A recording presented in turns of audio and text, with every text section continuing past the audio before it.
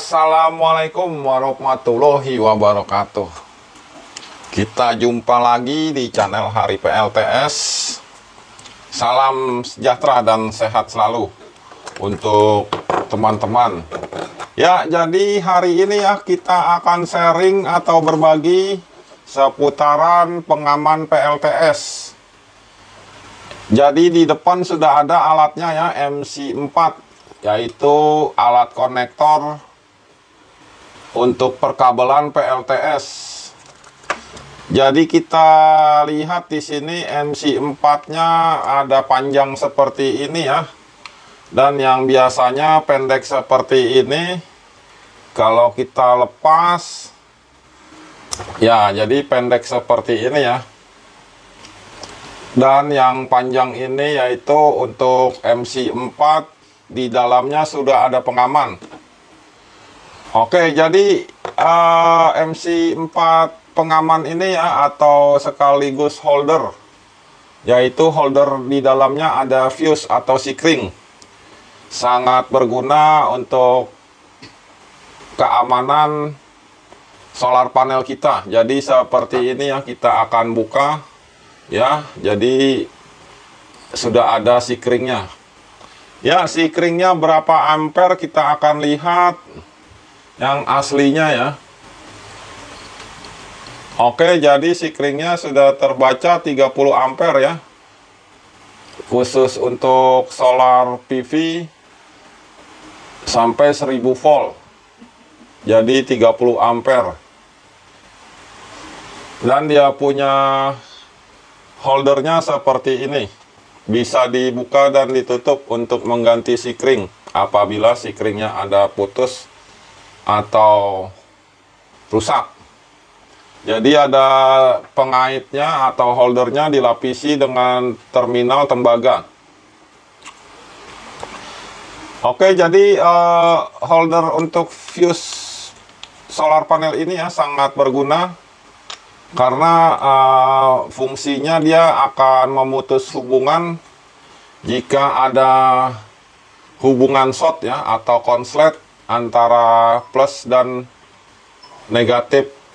Jadi seumpamanya kita tidak sengaja hubungan short maka aliran listrik di dalam ini akan terputus secara otomatis dan sikringnya putus.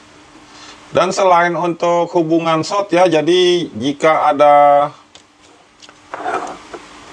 sambaran petir atau geledek ya, yang paling kita sering jumpai jika hujan, sambaran petir itu bisa menginduksi atau menyambar solar panel kita.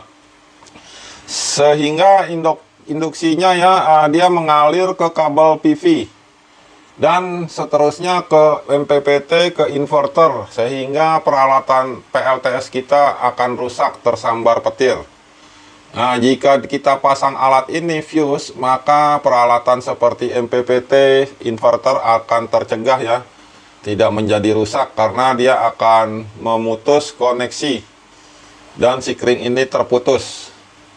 Oke, bagaimana cara memasangnya ya?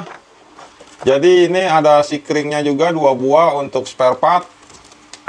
Kita akan bahas pemasangannya. Jadi untuk pemasangannya jika untuk paralel atau uh, dia punya seri kita bisa menghubungkan seperti konektor ya dua soket atau empat soket.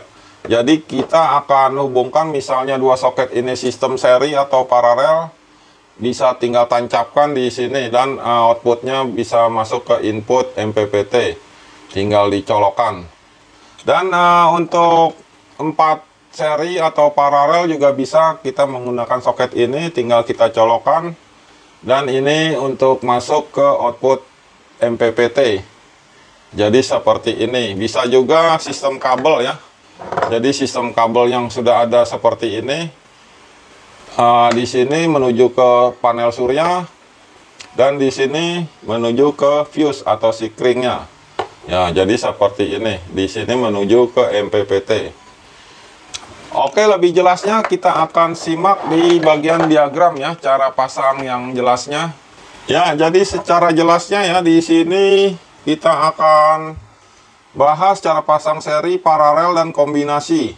Jadi bagaimana penempatan fuse atau sikringnya. Oke, simak terus. Dan untuk yang baru bergabung jangan lupa dipencet tombol subscribe. Jangan lupa dinyalakan loncengnya agar mendapat video-video terbaru. Ya, di depan sudah ada ya. Nah, sekarang sistem seri ya. Jadi tiga solar panel di seri dengan plus minus dan plus minusnya seperti ini. Dan masuk ke solar control atau MPPT atau SCC. Jadi cara pemasangannya seperti ini ya. Untuk positifnya kita menggunakan fuse di sini. Jadi sudah cukup jelas cara memasang fuse yang tadi ya. Fuse yang ini ya uh, diposisikan di positifnya menuju MPPT oke sekarang uh, bagaimana sistem paralel? Ya jadi paralel seperti ini ya ada tiga PV kita paralel uh, mengeluarkan plus minus plus minus semuanya digabung dan masuk MPPT jadi setiap solar panel untuk yang plusnya dihubungkan ke fuse atau sikringnya jadi sikring 1 2 3 seperti ini. Jadi jika ada masalah eh, gampang untuk mengganti sikringnya juga atau mendeteksinya. Setelah pemasangan sikring baru ke MPPT atau Solar Charge Control. Oke, kita lanjut untuk pemasangan kombinasi seri dan paralel. Ya, di depan sudah ada gambar kombinasi untuk seri dan paralel.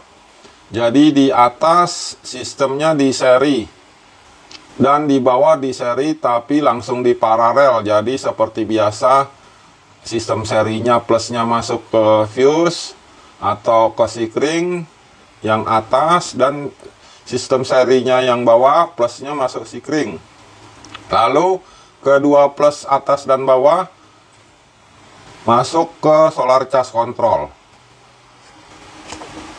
jadi seperti ini untuk kombinasi pemasangan fuse atau sikring untuk keamanan solar panel atau solar cell. Oke, jadi seputaran fuse atau sikring yang ada di MC4 atau holder MC4 ini sampai di sini ya. Semoga bermanfaat untuk teman-teman semua sharing dan berbaginya di hari ini. Wassalamualaikum warahmatullahi wabarakatuh.